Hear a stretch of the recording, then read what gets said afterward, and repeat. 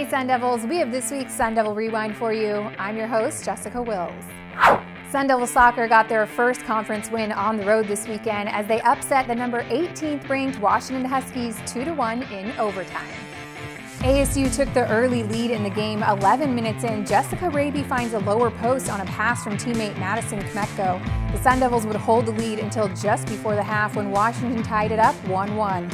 After a scoreless second half and overtime, we go to double overtime where Whitney Knavel sealed the deal with this goal from the penalty box to give ASU the edge. Sun Devil Soccer will have their final regular season home games this weekend, hosting Oregon State on Friday and Oregon on Sunday. You can catch the Oregon State game on the live stream, and Sunday versus Oregon will be broadcast live on the Pac 12 network. Number 10 ranked Sun Devil Volleyball was also on the road this weekend, falling to top ranked USC on Friday and UCLA on Sunday. At USC, the Sun Devils took the third set 25 23, forcing a fourth frame. ASU fell short in the second and fourth sets by just four points and two points. Whitney Follett had the high for the Sun Devils with 13 kills.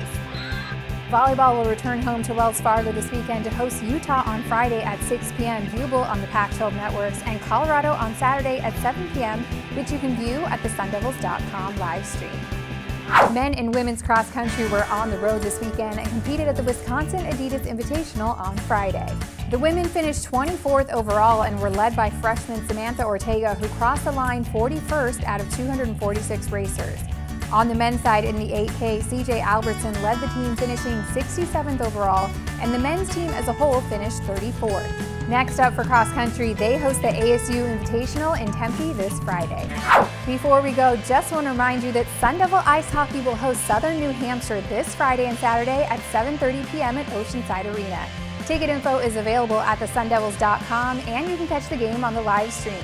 And we hope to see all of you Sun Devil fans at our next home football game when we host Oregon on Thursday, October 29th for our annual Salute to Service game.